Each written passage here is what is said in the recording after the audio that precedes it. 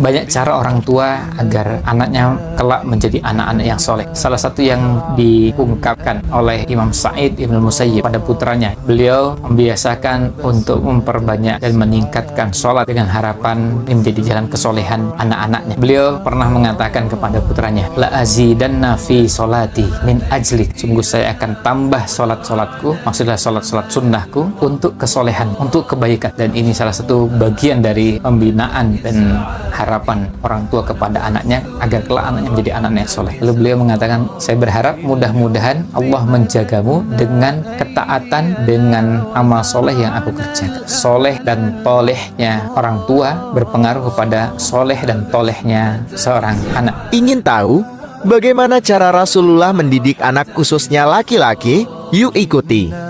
Zuminar buku ini tanggal 24 Maret mulai pukul 9 pagi waktu Indonesia Barat. Daftar di link di bawah ini.